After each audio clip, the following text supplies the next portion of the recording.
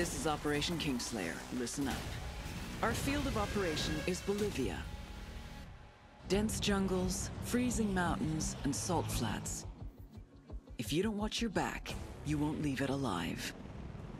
Your target is the Santa Blanca drug cartel. Their network relies on fear, violence, and intimidation. You'll need to destroy them from the inside, destabilize each aspect of their operations.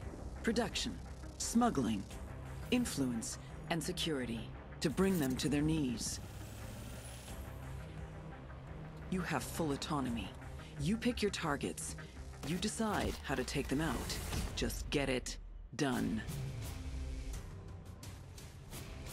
Gather your intel.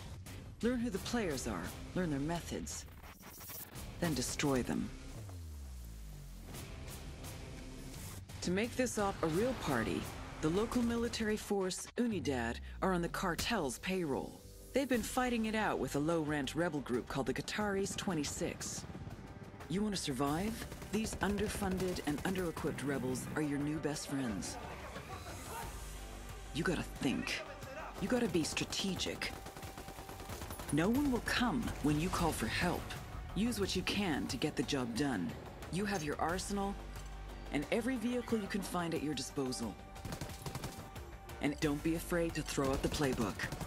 Each of you is an elite warfighter, but together, you have the strength to take down an army. And remember, Ghosts, credit is failure. You will burn the Santa Blanca drug cartel to the ground, but no one will know who was holding the match.